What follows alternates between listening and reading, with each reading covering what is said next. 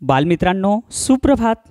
असं म्हटलं जातंय अधजल घगरी छलकत जाय पुरी गगरी चुपकेसे जाय. म्हणजे ज्यांना अर्धवट ज्ञान असतंय ते मुलं वर्गामध्ये खूप बडबड करतात. आणि ज्यांना पूर्ण ज्ञान असतंय ते मुलं आपोआप शांत होतात. त्यामुळं तुम्हालाही तसं ज्ञानवान व्हायचं असेल शांत व्हायचं असेल तर मग तुम्ही सगळेजण उग्रतेनं.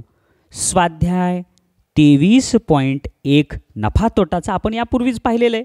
मग आता आपल्याला नफा तोटामधील काय बघायचं आहे स्वाध्याय तेवीस पॉईंट दोन. बघा बरं काय दिला आहे प्रश्न. तर प्रश्नात असं विचारलं आहे नानासाहेबांनी बत्तीस हजार रुपयाला एक बैल विकत घेतला. आता समजा हे नानासाहेब म्हणजे तुमचे काका आहेत. काकांनी बत्तीस हजाराला एक बैल आणला. घरी आणला तुम्ही छान आरतीचं ताट घेऊन आलात पूजा हे ते केलात. पण घरी नेण्यासाठी वाहतूक खर्च त्यांना दीड हजार रुपये आला. म्हणजे पस बत्तीस हजार अधिक दीड हजार म्हणजे किती झाले रे? तेहतीस हजार आणि हे पाचशे तेहतीस हजार पाचशे रुपये खर्च लागला. आणि तीन महिन्यानंतर त्यांनी पस्तीस हजार तीनशेला ते बैल विकला. मग त्या काकाने तुमच्या काकाने काय केलं माहिती आहे का? ते बैल पस्तीस हजार पाचशे रुपयाला विकला. तर या व्यवहारात नानासाहेबांना किती रुपये नफा झाला? नफा झाला म्हणजे काय? विक्री किंमत जास्त आहे? मग नफ्याचं सूत्र काय? विक्री किंमत वजा खरेदी किंमत. फारच सोपा प्रश्न होता की रे हे. तर बघा आता नानासाहेबांनी काय केलं? बत्तीस हजाराला घेतला. त्याच्यात वाहतूक खर्च दीड हजार. म्हणजे तेहतीस हजार पाचशे रुपये ही त्याची खरेदी किंमत झाली. दिसलं? ऐका नाही ही खरेदी किंमत? मग आता नफ्याचं सूत्राप्रमाणे विक्री किंमतीतून खरेदी किंमत वजा करा. पस्तीस हजार तीनशेमधून तेहतीस हजार पाचशे वजा केलं एक हजार आठशे आलं आणि हे एक हजार आठशे पर्याय नंबर दोन. हे काय आहे? नफा. किती सोपं उत्तर? पहा बरं दुसरा प्रश्न. काय दिलाय दुसरा प्रश्न? तर दुसऱ्या प्रश्नात तुम्हाला सांगितलेलं आहे. तर नीट पहा सगळेजण एकाग्रतेनं. तर प्रदीप नावाचा एक व्यक्ती आहे. प्रदीपने साडे बावीस हजार. साडे म्हणजे अर्ध. बावीस हजारच्या अर्ध. म्हणजे बावीस हजार पाचशे राईट साडे बावीस हजार म्हणजे काय? बावीस हजार पाचशे. साडे बावीस हजार रुपयांना घेतलेला मोबाईल. त्यानं साडे बावीस हजाराला मोबाईल घेतला. एकोणीस हजार आठशे सत्तर रुपयांना विकला. या व्यवहारात त्याला किती रुपये तोटा झाला? महाग घेतला आणि स्वस्त विकला. आणि मग तोट्याचं सूत्र काय? विक्री किंमत वजा खरेदी किंमत मग विक्री किंमत किती होती? तर ती होती साडे बावीस हजार म्हणजे बावीस हजार पाचशे. आणि खरेदी सॉरी खरेदी किंमत होती खरेदी किंमत होती बावीस हजार पाचशे आणि विक्री किती? एकोणीस हजार आठशे सत्तरला विकलं. मग आता याच्यातून वजा बाकी केलं दोन हजार सहाशे तीस रुपये. ही त्याला तोटा झाला. म्हणून दुसऱ्याचं उत्तर पर्याय नंबर तीन. हां पहा बरं आता तिसरा प्रश्न. काय दिला आहे रे? आता इथे एक सुनंदाबाई आहेत बरं का. आता त्यांनी काय केलं आहे बघा. सुनंदाबाईंनी डाळिंबाच्या विक्रीतून सतरा हजार रुपये नफा मिळवला. म्हणजे समजा आता तुम्ही एक पेन घेतली आणि ती पेन विकली आणि तुम्हाला पाच रुपये नफा झाला. पाच रुपये त्यांनी तुम्ही जास्त मिळवले. म्हणजे तुम्ही ती पेन दहा रुपयाची पेन पंधराला विकली तर पाच रुपये नफा मिळेल. एवढं समजलं? तसं ह्या सुनंदाबाईंनी सतरा हजार रुपये नफा मिळवला. त्यांनी डाळिंबाच्या लागवडीसाठी सात हजार रुपये त्याला औषध फवारणीसाठी पाच हजार रुपये त्याच्या मजुरीसाठी तीन हजार रुपये व वाहतुकीसाठी एक हजार रुपये खर्च केले. अरे किती सोपे रे? सात आणि तीन दहा दहा आणि पाच पंधरा आणि एक सोळा. म्हणजे सोळा हजार रुपये त्यांनी खर्च केले बरं का. तर डाळिंबाची एकूण विक्री किंमत किती? आता डाळिंबाची एकूण विक्री किंमत काढायची आहे. किती सोपं आहे? तर सगळ्यात पहिलं बघा बरं किती सोपं आहे. म्हणजे काय? हे बघा. हे सात हजार पाच हजार तीन हजार एक हजार हे झाले त्याची सोळा हजार खरेदी किंमत.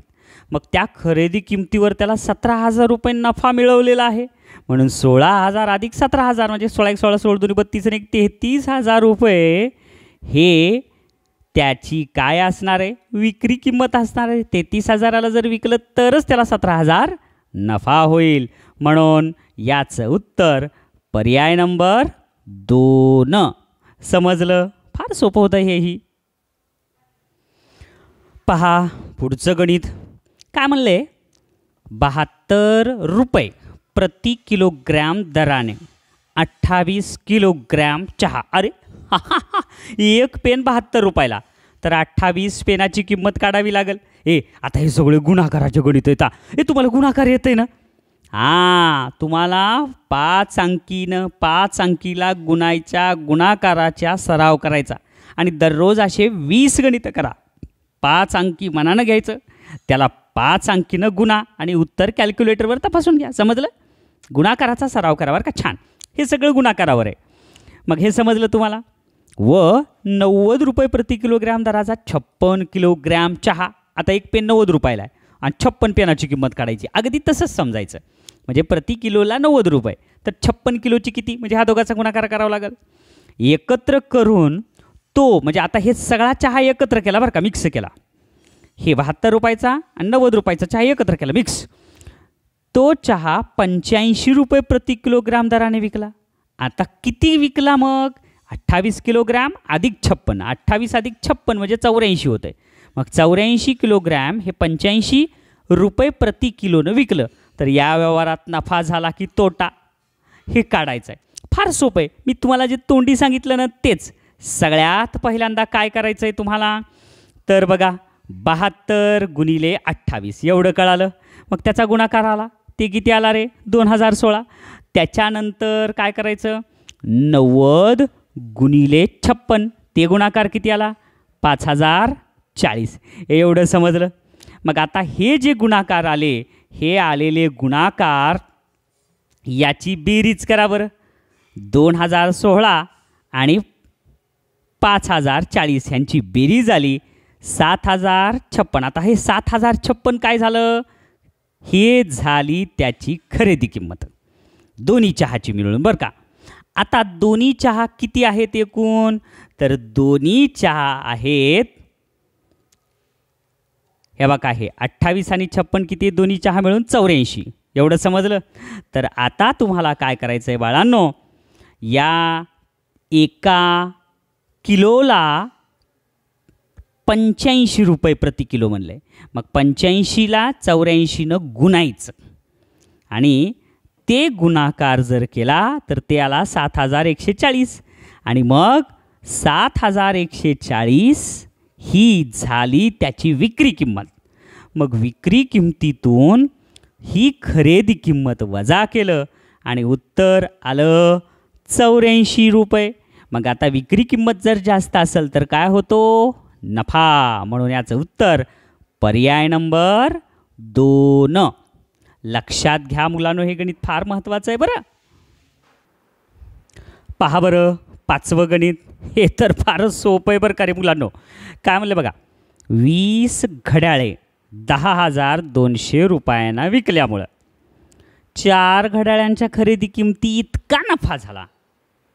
म्हणजेच काय? वीस घड्याळे होते. आणि त्या वीसमध्ये अजून चार विसळा. म्हणजे चोवीस घड्याळांची विक्री किंमत झाली दहा हजार दोनशे असं समजावं लागेल. बरोबर आहे ना? कारण चार घड्याळ्याच्या खरेदी इतकाच नफा झाला आहे बरोबर आहे? आणि ते ह्याच्यातच ॲड आहे. विक्री किंमत हीच आहे ना दहा हजार दोनशे.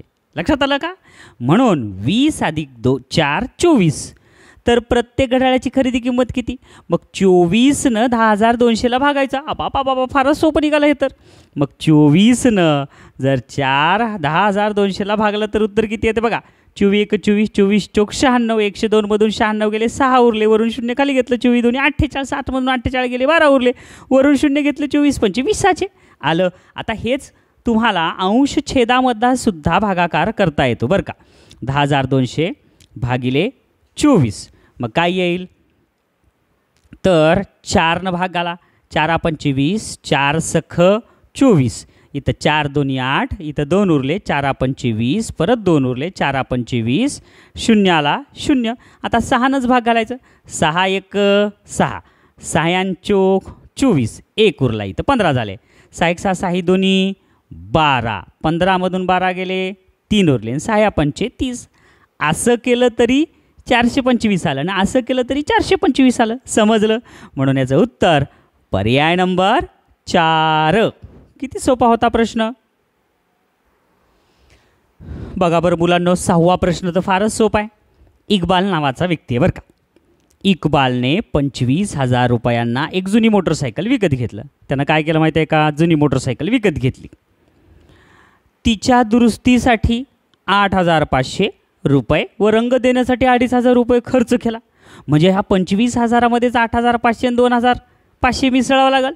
आठ आणि दोन दहा आणि हे अकरा. म्हणजे पंचवीस हजारामध्ये अकरा हजार मिसळले किती झाले? पंचवीस आणि दहा पस्तीस आणि एक छत्तीस. छत्तीस हजार रुपये त्याची मोटरसायकल झाली. आणि त्यानं अडोतीस हजारांना तीच मोटरसायकल विकली. तर या व्यवहारात त्याला किती तो नफा का किती नफा झाला? अडोतीस हजार पाचशेला विकलं म्हणजे त्याला नफाच झाला.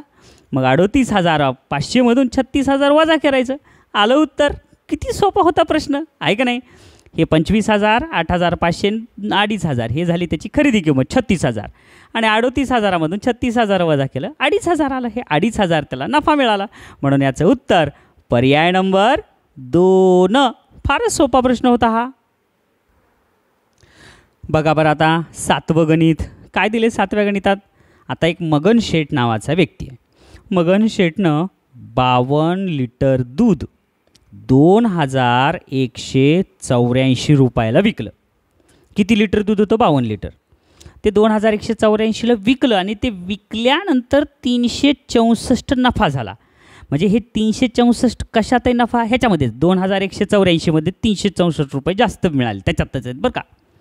म्हणजे दोन हजार एकशे चौऱ्याऐंशीमधून तीनशे चौसष्ट जर वजा केलं तर आपल्याला काय मिळेल? त्याची खरेदी किंमत मिळेल. लक्षात आलं?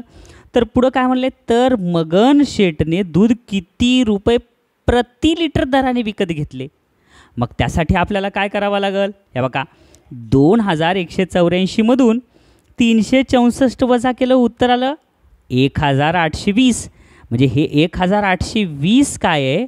त्याची खरेदी किंमत आहे. पण प्रति लिटर म्हणले.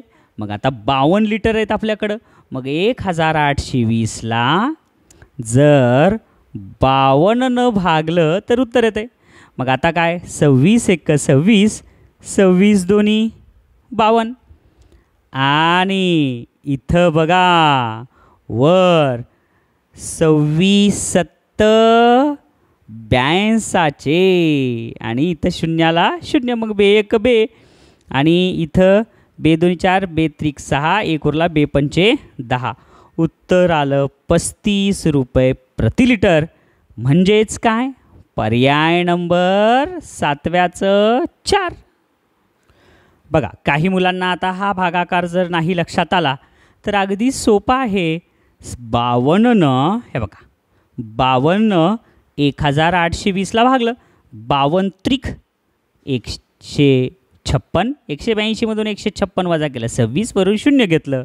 आणि बावन्न पंचे दोनशे साठ बाकी शून्य. उत्तर आलं पस्तीस. समजलं? चला मग पहा पुढचं गणित. आठवा प्रश्न तर अत्यंत सोपा आहे.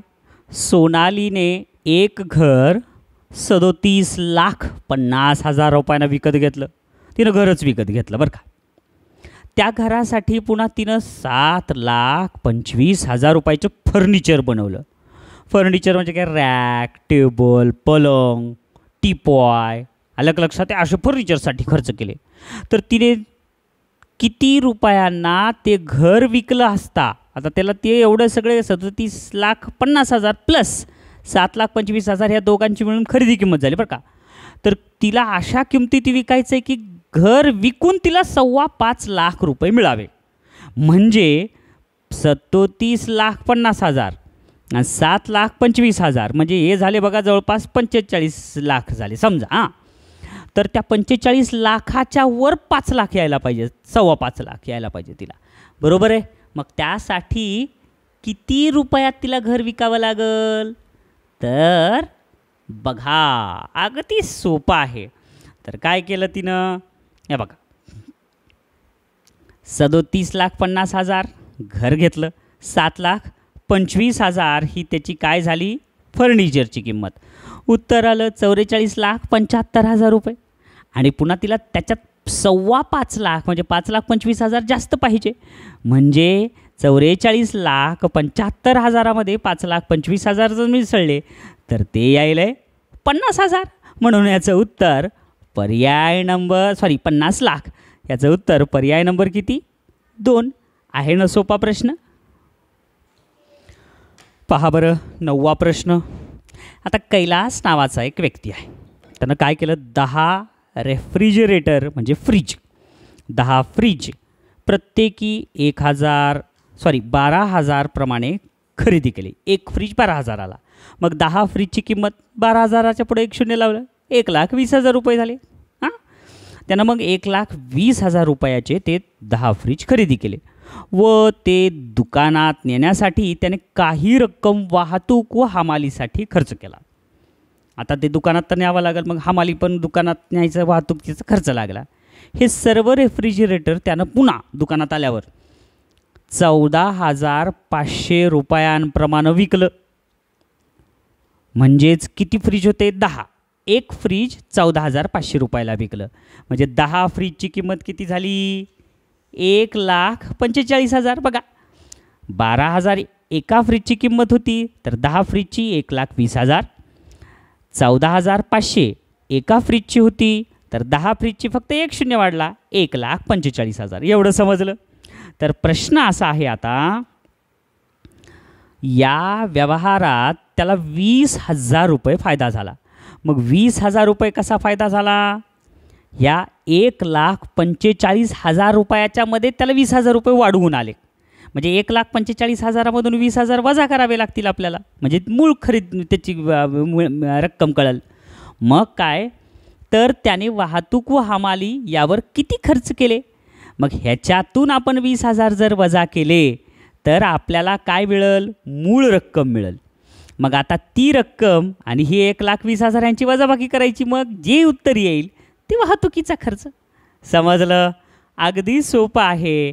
मग एक लाख पंचेचाळीस हजारातून आपल्याला वीस हजार वजा करायचे. ते किती आले रे? एक लाख पंचवीस हजार. आणि आपले अगोदर किती झालते? एक लाख वीस हजार. मग एक लाख पंचवीस हजारातून एक लाख वीस हजार वजा केले उरले किती? पाच हजार. आहे का नाही? सोपं गणित. म्हणून याचं उत्तर पर्याय नंबर चार. किती सोपा प्रश्न आहे. पहा बरं मामा. म्हणजेच माझ्या आवडत्या विद्यार्थ्यांनो दहावा प्रश्न. चार वस्तूंची विक्री किंमत ही पाच वस्तूंच्या खरेदी किमती एवढी आहे. तर एक वस्तू विकल्याने दुकानदाराला होणारा नफा त्या वस्तूंच्या खरेदी किमतीच्या किती पट आहे? समजलं? हो मामा लक्ष आहे का हां पुस्तकात लक्ष द्या. बघा आता काय म्हणलं आहे चार वस्तूंची विक्री किंमत. आहे बघा आता हे बघा. आता ही चार वस्तू. चार वस्तूंची विक्री किंमत समजा. चार वस्तूची विक्री किंमत आपण शंभर धरली. तर ही चार वस्तूंची विक्री किंमत ही पाच वस्तूंच्या खरेदी किमती एवढी आहे. मग आता हे शंभर कसे पाच वस्तूच्या खरेदी किमती एवढं. आहे मग हे पण शंभरच धरू आपण. तर आता काय म्हणलं आहे एक वस्तू विकल्याने आता या चार वस्तूपैकी एक वस्तू विकल्याने मग तुम्हीच बघा आता. आता ही चार वस्तूची विक्री किंमत शंभर आहे तर एक वस्तूची विक्री किंमत काढायची. मग एक वस्तू विकल्याने दुकानदाराला होणारा नफा. आता ही एक वस्तू विकल्याने म्हणजेच काय रे? मग काय? चार वस्तूंची विक्री किंमत शंभर आहे. मग शंभर भागिले चार केलं तर पंचवीस रुपये आली. एका वस्तूची विक्री किंमत किती आली? पंचवीस रुपये.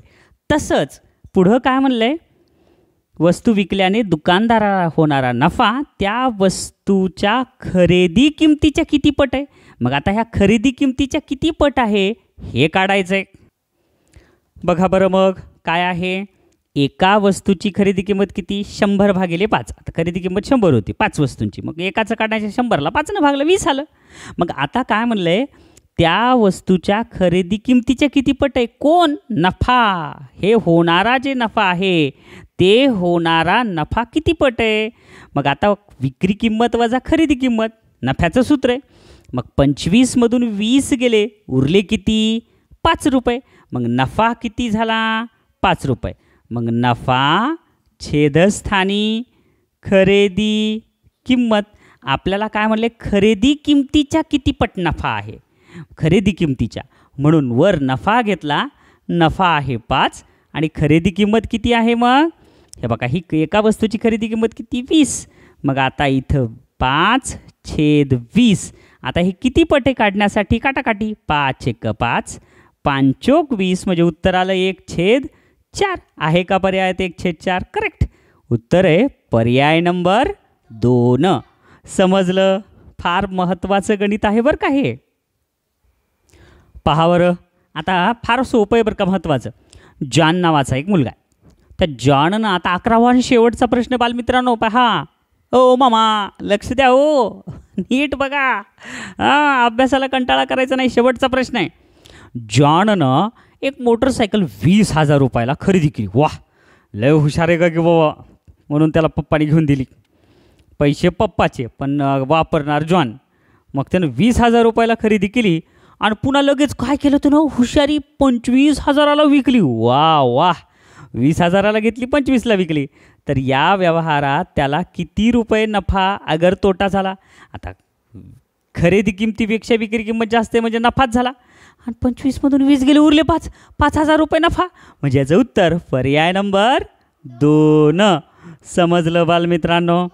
अशा प्रकारे आजचे आपले अत्यंत महत्त्वाचे असे हे अकरा प्रश्न पूर्ण झालेले आहेत. आणि यावर आधारित परीक्षेत शंभर टक्के प्रश्न येतोच बरं का बालमित्रांनो? म्हणून छान अभ्यास करा छान सराव करा. भेटूया पुढच्या प्रकरणात. धन्यवाद.